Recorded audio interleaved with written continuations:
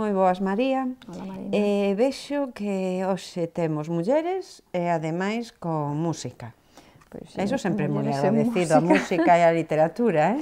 Pois es, pois, e ainda encima, si, si trata de mulleres... Pois neste caso, a verdade é que é un libriño ben curioso, porque, bueno, as autoras son mulleres, Laura Romero e Iria Pedreira, pero o libro, ademais, titúlase Ferreñas Rock and Roll, anecdotario sobre músicas galegas. Crónica uh -huh. ilustrada das nosas músicas máis senlleiras. E o que fan é un percorrido, eu mm, teño que recoñecer a miña ignorancia, porque hai moitas delas que non coñecía. É unha pena non que non moitas, as coñezamos. Non eh? moitas, pero sí, pero algunhas sí, non, había non, que non as coñecía. E non porque ao millor se, se xan de heavy metal no, ou, ou alguna... De, hai, sí, é certo que hai de, de hai de todo, de todo un eh, pouco, sí, sí, por eso. Sale, pois, non sei, pues mira, Uxía, por exemplo, que uh -huh. así por coller unha das idas coñecías, Uxía, eh, Pilocha, Meniñas de Saudade, eh, Marta Eloísa Pérez, eh, hai unha che de cousas. E hai, sobre todo, historias curiosas, porque había unha, a ver se si me sale aquí, esta, Xosefa de Bastavales. Home.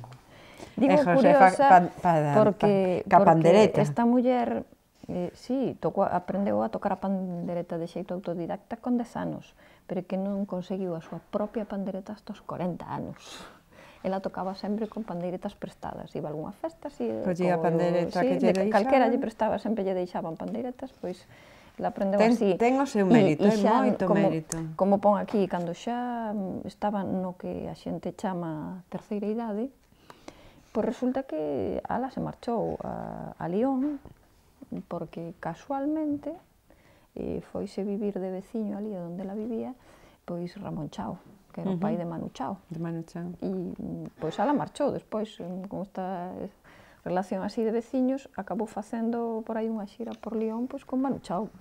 Por eso digo que non, que non é simplemente... Cousa, eh? Claro, pero isto a ela chegoulle eh, xa unha idade, de, Bueno, sabes? de, despois de ter moita experiencia claro, quero na decir vida. que, que ao final, mira, aquí o final salen sí moitas que... que ao mellor si son máis coñecidas ou uh -huh. máis tal, e e aparece outro, por exemplo, Maruxa das Cortellas, pois xente que conservou incluso instrumentos, neste caso Maruxa das Cortellas, pois conservou, por exemplo, o pandeiro cadrado, que agora volve a estar un pouco, un pouco de, de moda, de moda que o, xe, o, xeito, volve usan, a ser coñecido, non? Si, úsase, pois úsase en Xavier Díaz, grupos. Casa de Salitre, uh -huh. por exemplo, tocan o, o pandeiro cadrado e tal, uh -huh. pero houve unha época que estaba prácticamente esquecido.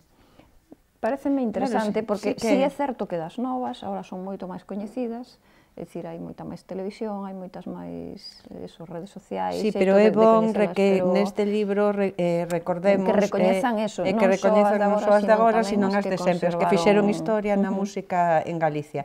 Pois eh, é moi original o libro, unha idea, desde logo, que para, para aplaudir Primeiro, por mulleres, teño que decir que tamén me gustan as ilustracións, porque cada muller, cada semblanza de muller ou de grupo, sí. eh, que non, non é solo, solo individuais, son, individuais sí, son, son mulleres e grupos. Eh, as ilustracións son moi orixinais, eh, creo que, que teñen un punto diferente, pero a vez sí que a representa, a representa como, como son. Pois unha boa idea, e creo que deberíamos ter todos, todos os que eh, nos guste a música, sobre todo a música en Galicia, creo que, uh sobre todo, feita por mulleres.